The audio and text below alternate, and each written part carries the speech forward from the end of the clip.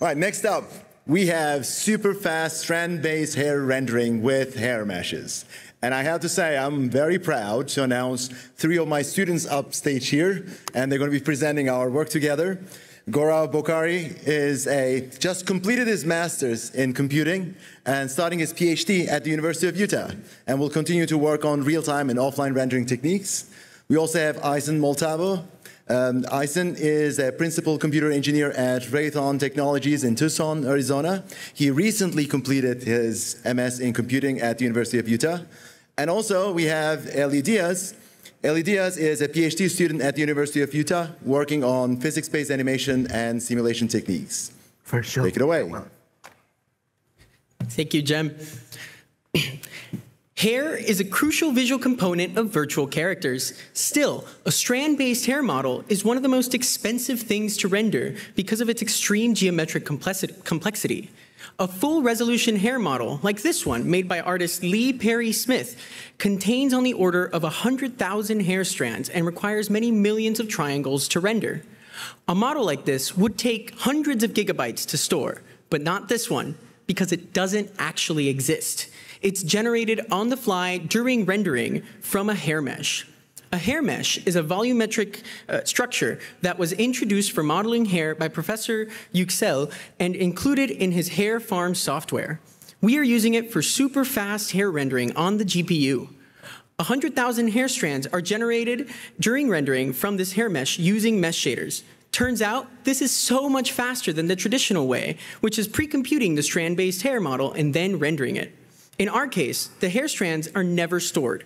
We generate them render them, and then throw them away. The entire hair groom is, is, defined by the hair mesh and a bunch of procedural styling parameters. This also makes it super cheap to switch between different hairstyles or tweak the hairstyles on the fly. Eisen, can you tell us how we can style the hair strands? Yes, I can. What you see on the screen is something very similar to a traditional, very simple hair groom coming from a DCC tool like Maya or Blender. If you want to change the style, you need to go back to your tool, restyle, re-export, re-import into your game engine. But what if we can do this directly in our game engines? This is exactly what we built. As you can see on the UI here, we implemented a very few common operations for styling. We have clump, curl, freeze, kink, and fuzz. Of course, we haven't implemented all the available hairstyling functions, but if you want to add your custom one, it is very easy and straightforward to do so. Gaurav. Let's make this a little bit more interesting by adding kink. Let's do it. So you can see we can play with the strength parameter to add more kink to the hair. Also, if we want to, we can isolate the style to be just closer to the tips. God, I wish I had hair to study like this. A typical hair groom is hundreds of megabytes in size. Our system only needs kilobytes to define one hair mesh. This means that between the memory of a single typical contemporary hair groom, we can store 100,000 unique hair models. We just need to store the hair mesh and these few parameters. These are some quick styles we created with this tool. With this technology, it is easier than ever to experiment and isolate and play with hairstyling.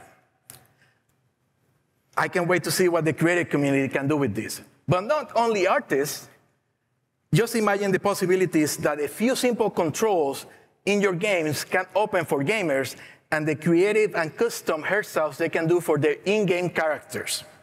Eli, now that we have hairstyling, how can we make it come alive?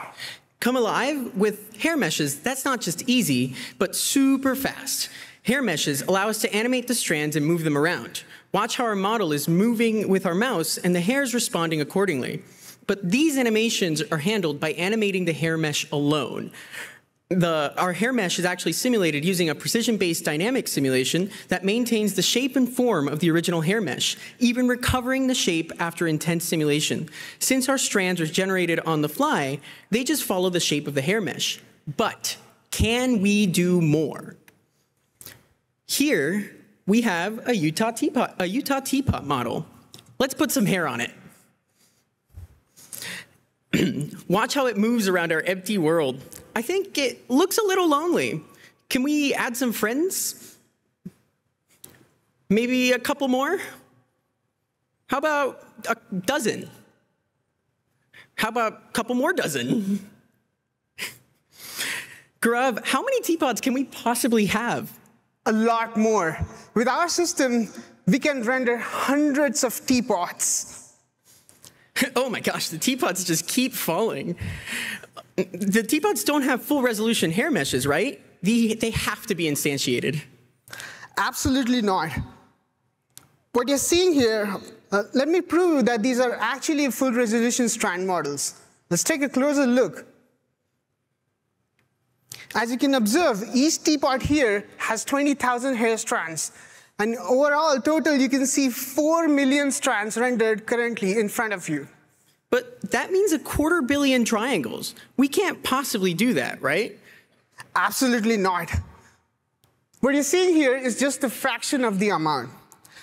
As we're doing strand level rendering, we can actually deploy uh, clever LOD techniques to not only change the curve details, but the strand counts based on the camera distance.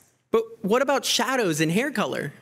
Shadows are super fast.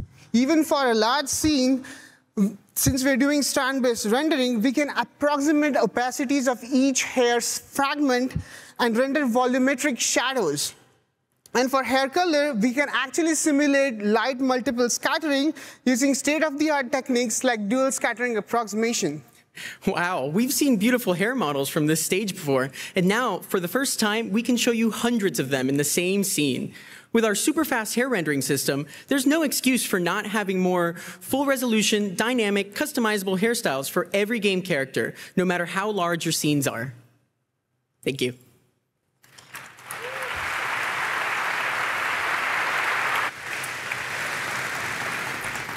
That was a lot of hair and a lot of teapots.